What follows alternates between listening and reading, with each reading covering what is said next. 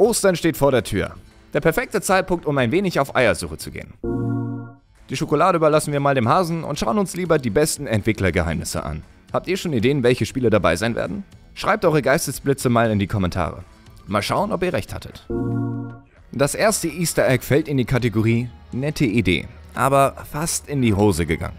Auch wenn das Osterei selbst nicht wirklich spektakulär ist, die Geschichte dahinter ist es umso mehr. Dass Entwickler gerne Anspielungen auf andere Projekte in ihren Spielen verstecken, ist kein Geheimnis. So fand auch eine Zeitung ihren Weg in Uncharted 3. Darin ist etwas über einen tödlichen Killerpilz zu lesen. Na, klingelt's? Stichwort The Last of Us. Soweit eigentlich kein Problem. Wäre die Ankündigung von The Last of Us nicht verschoben worden. The Last of Us sollte ursprünglich auf der E3 im Juni 2011 angekündigt werden. Der Release von Uncharted 3 war erst für den November angesetzt. Die Ankündigung von The Last of Us verschob sich dann aber auf die Video Game Awards im Dezember. Und die Zeitung mit dem Easter Egg in Uncharted, die wurde komplett vergessen. So erschien Uncharted 3 mit einem Hinweis auf The Last of Us.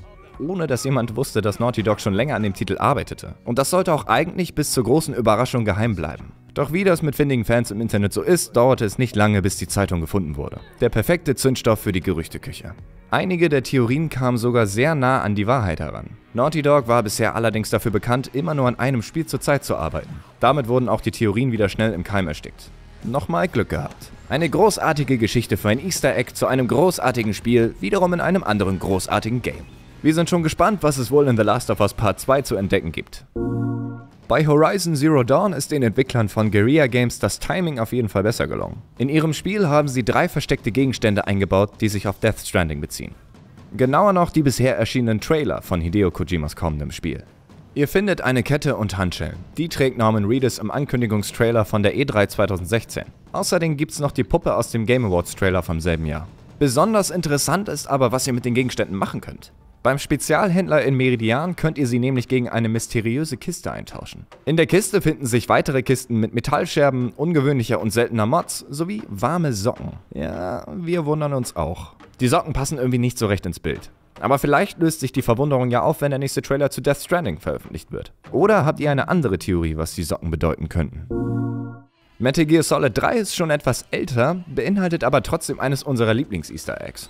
Und zwar den Bosskampf gegen den Meisterschaftsschützen The End. Ihr könnt ihn entweder in einem langwierigen Kampf, der sich über drei große Gebiete erstreckt, mit viel Schleichen und Geduld im Kampf besiegen, oder ihr wendet einen unfassbar simplen, aber effektiven Trick an. Warten. Klingt komisch, ist aber so. Wenn ihr im Kampf mit The End das Spiel speichert, arbeitet die Zeit für euch. Wartet etwa eine Woche und ladet dann den Spielstand wieder. Das Ergebnis? The End ist an Altersschwäche gestorben. Der Gute war immerhin schon 103 Jahre alt. Schon ein bisschen fies. Sein letzter Wunsch war es, im Kampf gegen Snake zu sterben. Aber warum viel Aufwand betreiben, wenn man es auch einfach haben kann? Übrigens, falls ihr den Trick ausprobieren, aber nicht eine Woche warten wollt, haben wir noch einen Tipp. Ihr könnt auch einfach die Systemzeit eurer Konsole entsprechend umstellen. Das habt ihr aber nicht von uns.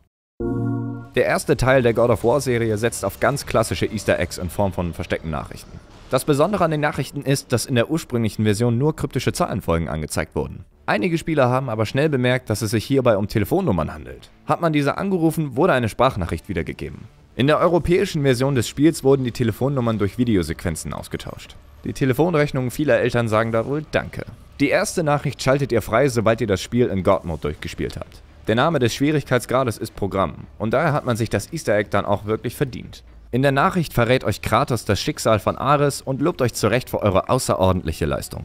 Die zweite Nachricht ist nochmal kniffliger. Hierfür müsst ihr die beiden Statuen in Kratos Thronsaal zerstören. Das dauert eine Weile. Die Dinger sind wirklich stabil gebaut.